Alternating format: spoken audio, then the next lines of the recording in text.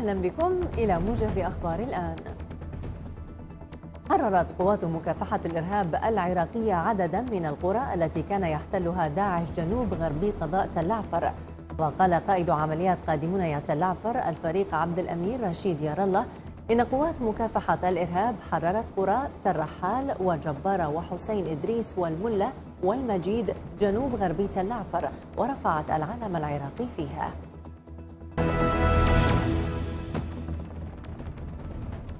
عثر الجيش اللبناني على صواريخ مضادة للطائرات في مخبأ للأسلحة بمنطقة تخلى عنها متشددو تنظيم داعش.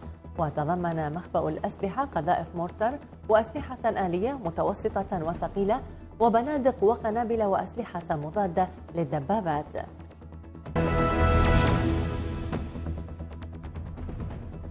قتل وجرح العشرات من قوات النظام السوري خلال الاشتباكات المستمرة في بادية السويداء جنوب سوريا. وتركزت المعارك في منطقة وادي محمود وتل شعاب واستهدفت قوات المعارضة مواقع تمركز الميليشيات الإيرانية التي تكبدت خسائر في الأرواح والعتاد.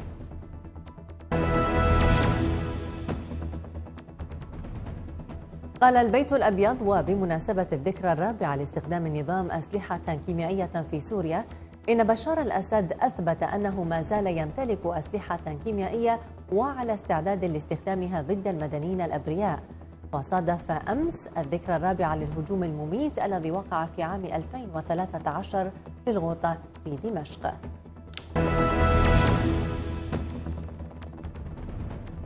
أبدى الرئيس الأمريكي دونالد ترامب انفتاحه على اتفاق سياسي محتمل مع جماعة طالبان الأفغانية محذرا في ذات الوقت من أن الانسحاب السريع من هذا البلد سيخلق فراغا يستفيد منه الإرهابيون.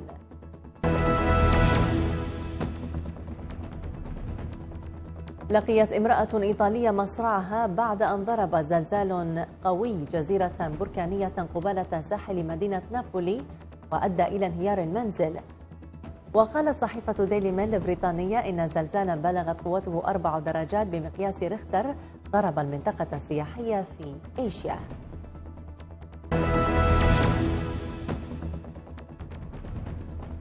قالت صحيفة ديلي ميل إن المساج والوخز بالإبر أصبحت طريقة الصينيين في تدليل القطط والكلاب عن طريق غرز الإبر في أجسادهم لتهدئة آلامهم. ويعتقد الممارسون التقليديون أن الوخز بالإبر في أماكن محددة من الجسم يمكن أن يحفز الدورة الدموية كما وتساعد عملية الوخز التي تشتهر بها الصين في تخفيف آلام المرضى.